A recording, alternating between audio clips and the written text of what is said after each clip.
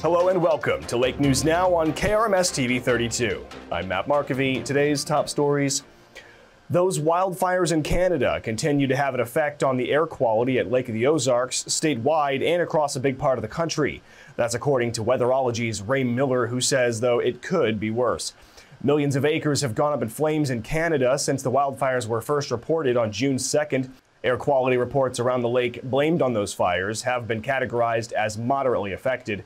Some rain in the forecast is expected to reduce some of the haze. And a Kaiser couple facing pending felony drug charges lands in the Miller County Jail. 50 year old Donna Davis is charged with two counts of delivery of a controlled substance, while 49 year old Bryant Davis is charged with one count of delivery and one count of possession. Both were arrested Monday afternoon. The Sheriff's Department released a statement indicating that they found mushrooms and paraphernalia during a traffic stop. Bryant Davis also allegedly attempted to dispose of 1,000 counterfeit Percocet pills containing fentanyl while at the jail. Both have since posted bond and been released. And a Phillipsburg man finds himself in jail after allegedly attempting to flee the Highway Patrol. That's according to the Highway Patrol report, which indicates that 47 year old Daniel Ford is being charged with felony resisting, felony possession of methamphetamine, possession of drug paraphernalia, and traffic related offenses.